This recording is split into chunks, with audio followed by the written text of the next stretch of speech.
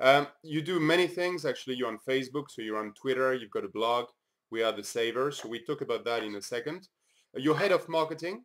Am I correct? Yes, Okay. that's correct. So social media is yours. Is in your your scope.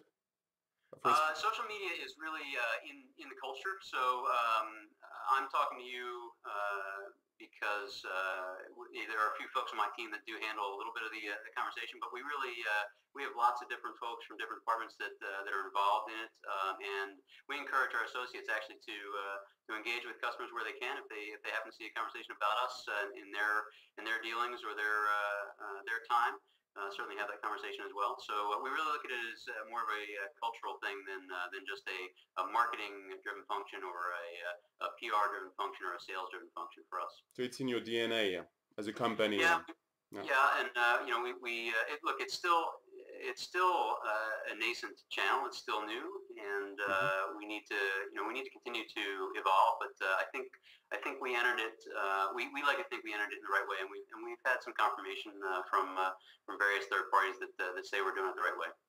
There are, there are multiple different uh, groups in the organization that work very closely together and, and pick up where each other leaves off. Uh, uh, and try to uh, try to find where we need to communicate, what we need to communicate, uh, and, and who to talk to, and, and what we should say. So So did yeah, you? mul- multiple different groups. Not not anybody's not anybody's full time job.